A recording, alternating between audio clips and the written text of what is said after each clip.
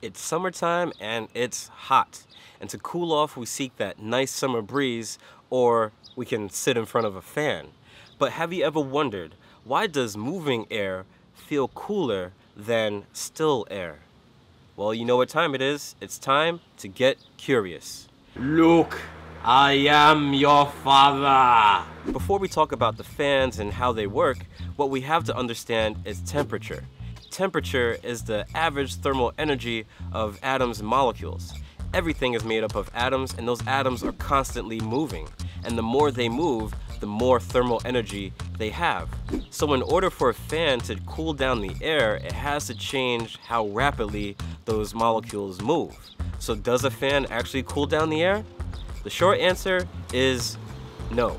So if the fan doesn't cool down the air, why does it still feel cooler to us? Well, the answer lies within how our bodies regulate temperature. When we get really hot, we get sweaty, and sweat is the liquid that our body produces to help us cool down.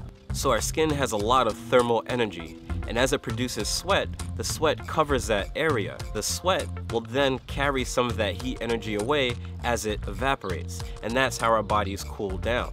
Now if you throw a fan or a breeze into the mix, it helps to speed up that process. The airflow hits our skin and carries some of that heat energy away. And then more air comes and carries that energy away as well. So it's a continuous flow and it helps to speed up the process that keeps us cool. And that, my friends, is why a fan or a breeze feels really nice in the summer.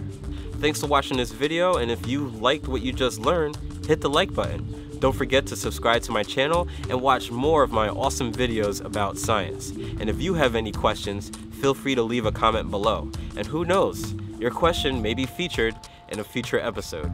I'm Coma Niddy, and thanks for watching.